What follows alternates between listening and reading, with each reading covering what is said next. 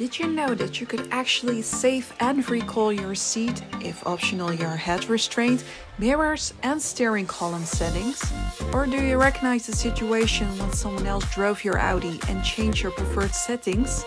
No problem. Just watch this video and I will show you how to save and recall your preferred settings of your Audi with the memory seat option so that you don't have to set them yourself again.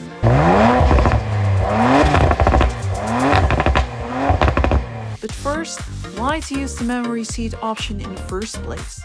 Adjusting your seat before you start driving is much more important than many people think. It is important to sit in a correct and comfortable position so that you can operate your car properly as well as prevent injury from the airbag in case of a collision. So if your car has a memory seat option, which you can find in the doorway, the preferred settings will always be loaded as soon as you've set them. Put your seat, if optional your head restraint, mirror and steering column in your preferred position. Press the set button in the doorway. A red light will lit up.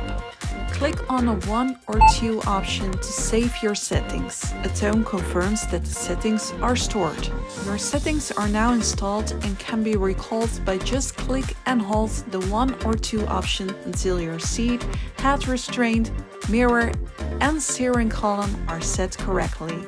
To recall your saved settings with the door open and ignition off, press the memory button once. To recall your saved settings with the door closed or the ignition off, press and hold the memory button until all settings are fully adjusted to the set settings.